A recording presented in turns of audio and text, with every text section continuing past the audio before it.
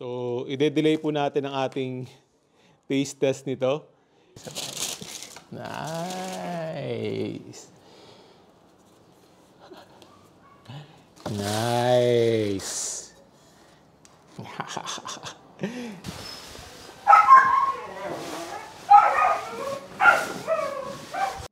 It's a beautiful day, everyone. This is JSR. Welcome back to my channel. Today is March 9 and we woke up to the anxiety-inducing news. An update na yung Taal Volcano ay na-raise ang alert level from 1 to 2. So, it's been on alert level 1 since it erupted last year. So, it's something na syempre kinakakaba pa namin mga Batanggenyo and yun, we woke up nga to the latest Fevox update na alert level 2 na. So, meaning there's a unrest na and uh, there's a possibility well, being an active volcano, there's always a possibility naman of it exploding. So, yun yung importanteng nangyari ngayon. Uh, we're hoping na by the time na mapanood nyo itong video na to ay alert level 1 na bumaba na or the very least ay hindi na siya, it didn't get worse. Pero if ever, kung ano man, ay we're hoping for everyone to remain safe and healthy, lalo na ngayon na hindi lang yung Tal Volcano kinakalaban ng mga Batanggenyo, kundi yung syempre yung COVID. So today ay, well, life goes on. Uh, today ay, syempre we have work to do. Tapos may mga bibilhin lang kami. And then, I have a feeling knowing Aisha ay mag-grocery kami to stock up on necessities. So yung mga nanonood dito, mga kababayan ko, mga Lipenyo, mga Batanggenyo, maybe take this time to to stock up on necessities, uh, review your evacuation plan, tapos yung mga go bag nyo ay ayusin nyo na rin. Siyempre, wala namang masama kung ano, mag-iingat tayo, saka magiging vigilant tayo. Siguro, yun yung isang importanteng malaman natin na ni-raise na yung alert level 2, na kung before ay meron sa inyo na mga pepetics-petics pa na minamaliit yung threat ng Taal Volcano, ay siguro ito isang wake-up call na nandiyan pa rin yung threat, so we have to be vigilant. Siguro sasabihin nyo, oh, bakit may bad news pero uh, it's a beautiful day pa rin. Uh, yung, yung greeting ko na it's a beautiful day, it's also uh, a hope, a prayer na it's going to be a beautiful day today. So kahit we woke up to bad news, I we're still hoping it's gonna be a beautiful day. So we're putting it out there in the universe na it's going to be a beautiful day today. Not just for me, also for you. Saka syempre, uh, yan yung sinasabi ko lagi before na as long as buhay tayo, as long as lumalaban tayo, ay tumatanggap tayo ng iba't ibang blessings. Siyempre may mga pagsubok tayo, pero at the same time, may mga blessings pa rin naman. So whatever happens, as long as we keep on fighting, it's a beautiful day. So, ide-delay po natin ang ating taste test nito. Uh, hindi po natin kailangan ng dagdag na kaba, dagdag palpitation. Sa isang araw na lang po natin tatry ito. Siguro pa bukas, tatry natin. Pero ito, may unbox tayo. So, mukhang bilang na yung araw na plain white background na lang nakikita nyo dito. So, somebody got in touch with me. Uh, may mga art pieces sila. Tingnan natin kung makakapili tayo ng babagay dito and hopefully in the coming days ay hindi na plain ang background na nakikita nyo dito. Okay, so dito muna tayo mag-work sa dining table kasi yung home office namin ay papalinis namin yung aircon in preparation for the summer season. Okay, so pinakita ko naman sa inyo to before ito. Ito, hindi pa nakontento si Aisha. Bumili pa ng ilang ano pa yan? Tatlong pares? Ah, yung ate. Di bibili na naman ng ano dyan? Yeah, more.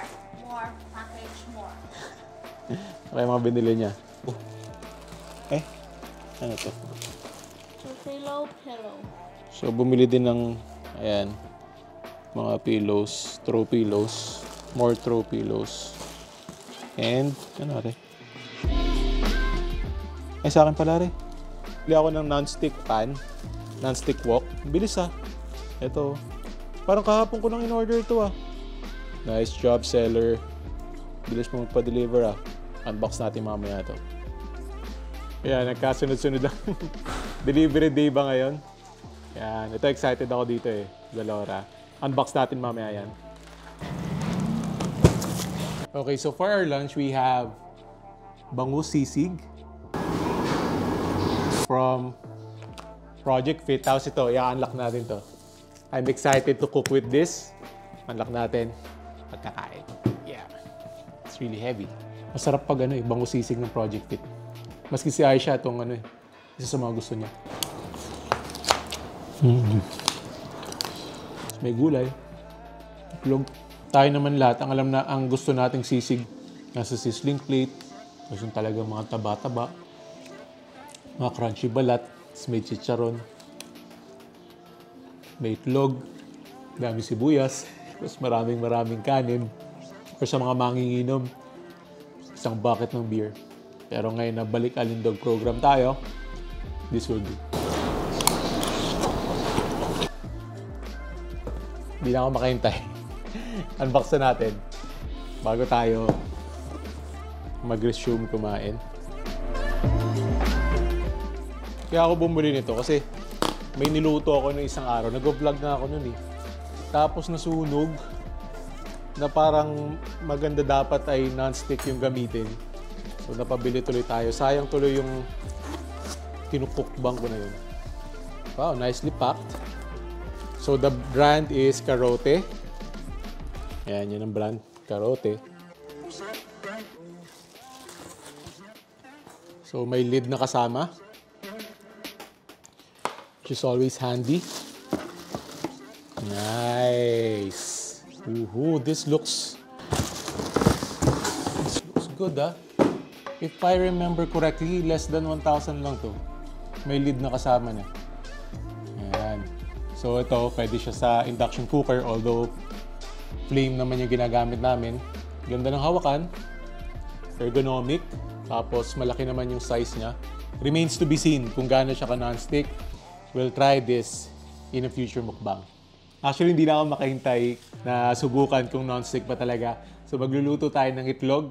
Lagay natin dito para malaman din natin kung non-stick talaga. Ininit lang natin siya. And then we're just gonna add a little bit of extra virgin olive oil. Konting-konti lang.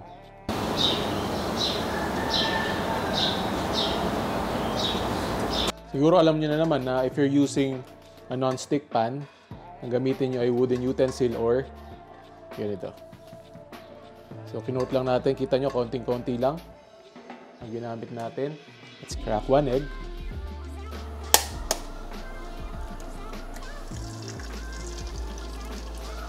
Nice.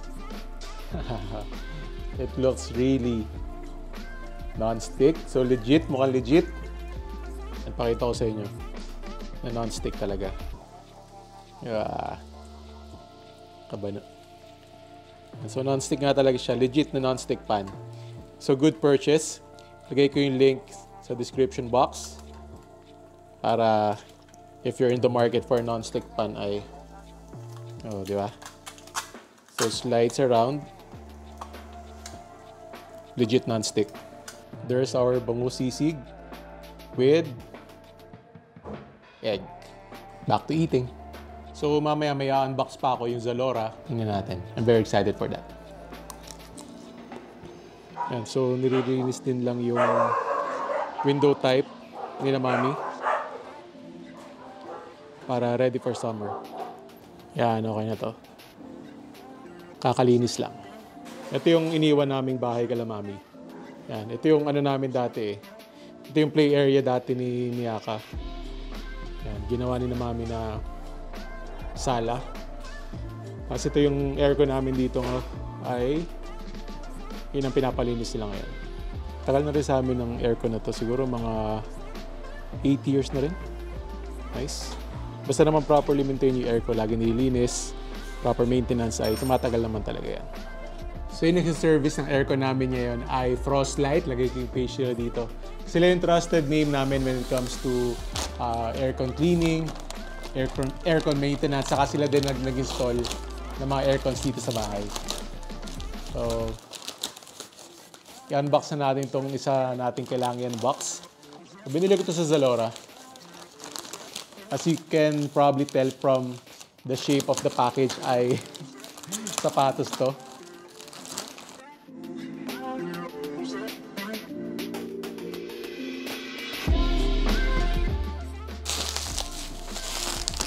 First time kong bumili ng sapatos na ganitong brand. This is World Balance. Yan. So, support local po tayo for this purchase. Sana natin. Unbox. Nice. Nice colorway. A little loud, pero not as loud as my uh, Air Jordan 5 Watda. So this is the Invictus. World Balance Invictus in green colorway. Yan. It's really fresh. Very light. Kung komportable ba, we'll find out. Ngayon, ngayon na kagad. Hindi natin papatagalin to. Ito na ang suot natin ngayon pag tayo nag-SM. So, mukhang komportable naman kasi meron daw siyang bounce pad insole system. This is very affordable pala. Ang price lang niya ay 2,199 and then I was able to use a discount code. Uh, parang it gave me 20 or 30% discount. So parang 1.7 na lang itong sapatos na to. Not bad. Maganda. Suotan natin yan. Pag aircon cleaning talaga, you really have to get professional help para talagang pulidong pulido ang paglilinis ng aircon. Kasi hindi naman yung tipong pupunasan mo lang o i-sprayan mo lang ng tubig. If you want the best results, contact Frostlight.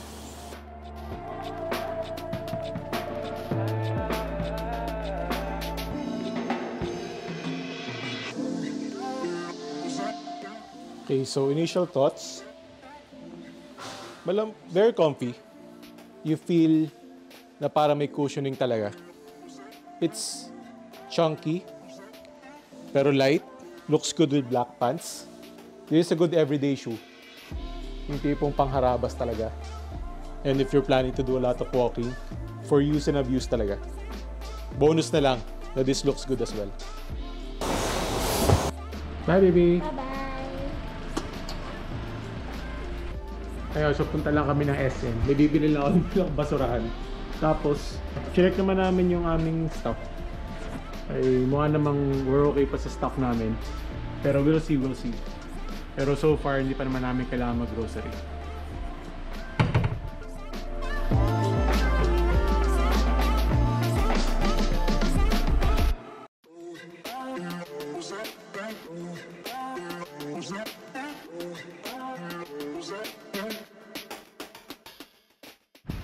Bago palang attraction yung SM, Pop Park. Nice, so play area for dogs. Looks nice. So dito lang siya sa may bandang likod, yung sa may motorcycle parking. Yan. Pag dinala ko mga aso ko din eh, ka- karibok na din eh. Pwede kayang tao din eh. Libre naman daw to. Basta dapat at least 4 months old yung aso, tapos kumpleto ng turok. Tapos di mo pwedeng iwanan, kailangan bantayan mo rin. Nice one, SM. Starbucks na tayo. Coffee muna. Coffee o'clock. Okay, from the looks of it naman, wala namang panic na nangyayari alert level 2 na, which is good. Panic can be dangerous din, basta dapat vigilant lang tayo. Uh, remain safe, tapos always stay updated. Tapos, syempre, be ready with your evacuation plan, with your go bag. Tapos, syempre, samahan na rin natin ang dasal to the family. Na, coffee time. Kung subscriber kayo, alam niyo na ang bibili ko dyan, cold brew tayo. Meron po tayo kasamang internet superstar. Yay! Social media superstar.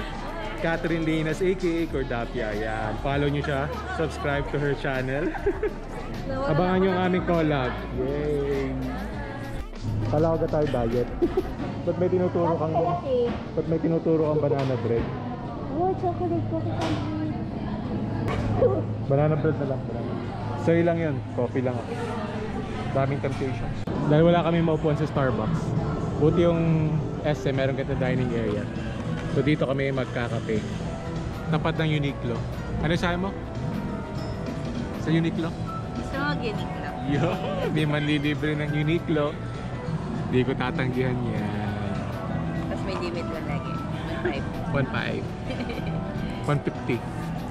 150. 1.5. Common misconception na mahirap bagayan pag loud yung color ng sapatos. But really, all you have to do is wear all black or any dark color. Pag mong subukan na nahabulin niya na tipo mag-green ka rin na t-shirt or green na pants, contrast lang. So, bought a couple of shirts. Hulaan nyo kung anong kulay. if you're if you're a long time subscriber, alam nyo niya kung anong kulay yan. Yan, so bumibili siya ng trolley para sa aming coffee nook. Ano sa maganda? So dalawang bibili namin ito para sa kwarto. Sa mga diffuser niya. Ito para sa coffee namin. Yun, so kailangan namin bumili ng malaking garbage bin para lagyan namin sa likod para hindi kinakalkal ng aso. Nahanap ko ngayon. Tapos bibili rin ako ng padlock para sa gate namin. Tapos ay siya ay sobrang addict sa extension cord. Namimili na naman extension cord. Ito ay 2.2. Yes, sir.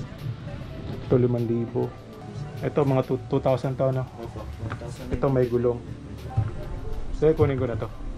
Sinong addict sa extension cord? Ilan yan? Lima. Lumang extension cord.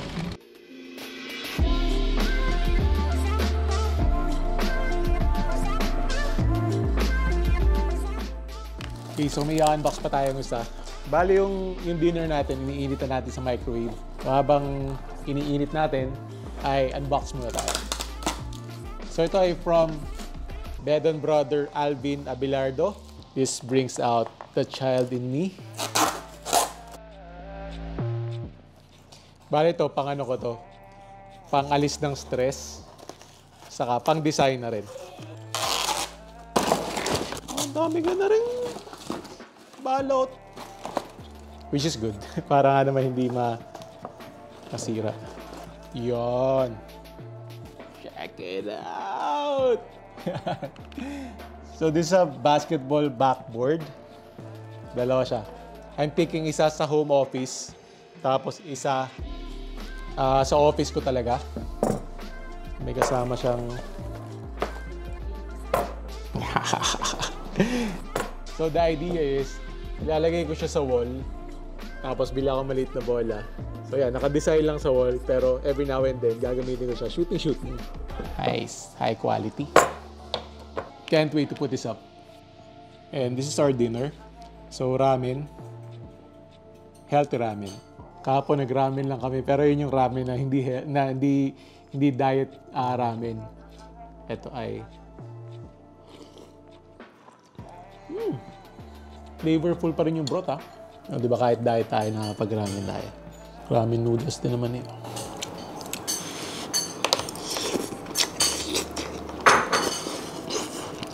Isa to sa pinaka-favorite na dishes ko ng ano, ng Project Fit. Lalo ngayon na nag-uulan-ulan. Very comforting. Para siyang chicken sa tanghon. Surprisingly, very filling ah. Kahit ko konti. Okay, bata, eh, pangarap ko lang rin may garni. Tanda ko dati sa school. Ikaw na lang mailagay na bilog sa may pinto. Game na yun na ano. Nasa SM na ako kanina, sana pala bumili na ako ng bola. Yun, si Tita Aisha, nakarinig lang na may kailangan bili sa SM eh. Pwede daw bumalik uli. Sa takaw, sa, bibili na naman ng ano, extension cord. Sabi sa inyo, adik extension cord eh. Hindi ko alam kung ba't yan inahuli na sa extension cord. So ito nga pala ay customized. So lagay ko na lang yung ano niya, yung profile niya sa baba. Para kung gusto niyo magpa-customize. Pleasantly surprised sa quality ah. Maaya si Aisha din na one, on- one on one. Pustahan. Pustahan ng ice tubig saka ano, lusot. Ganon din ba sa inyo yung basketball dati? Sa inyo. Lusot talo. Nice! Thank you, bro. Ganda. Yan. Ganda nga naman ang binili eh. Ah. Ayos nga naman ay. Good job. Pero pinicturean ka agad yan. Ano yan? Gagamitin na pipicturean. Iba vlog. Yun ang nakakita. Try bukas. Death Wish Coffee. Magtutos tayo bukas. Okay, so right now, hinihintay lang natin si Pat kasi umorder tayo sa kanila ng swimming pool para kay Miyaka. We're very excited uh, to set up namin tomorrow yon para may swimming-swimming kami dito sa bahay. Oh, hello. Sexy naman ang bisita. Say hi. Hello, hello, hello, hello. Kumusta? How are you? Puro rocket-rocket lang. Long time no see ah. Eto, eto. Sige, ako na, ako na, ako na, ako na, ako na.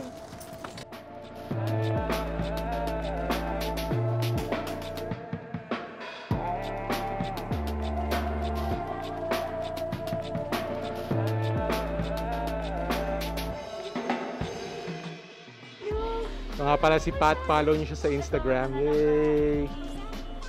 That's it for today's vlog. Thank you for joining me. Sana nag-enjoy kayo. And if you did, make sure to click on subscribe button and notification bell and watch my other vlog right here. Thank you for watching. I'll see you in a bit.